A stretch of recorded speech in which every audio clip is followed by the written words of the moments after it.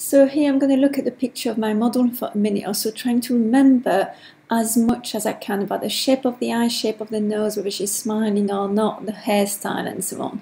I'm going to turn it over, uh, put it away and start drawing my model on here.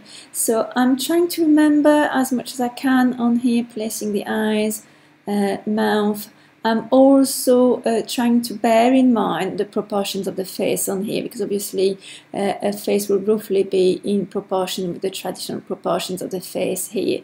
Uh, and trying to add as much detail as I can. As I'm drawing, I'm just realizing how much uh, gaps I've got and how much things I can't actually remember. And obviously, it's looking like it doesn't look anything like her either. So I've just modified. I remember that she was smiling, modifying the smile, uh, trying to get the wave in her hair. Remember her hair being wavy. Here, I'm just realizing the eyes are a little bit too high. They're not really halfway up the face. I'm just lowering them down and redrawing the eyes on here. So the more I'm drawing, the more I'm aware that I've forgotten loads of detail on here. Uh, just trying a tiny bit of shading, filling my two minutes. Um, and here we go.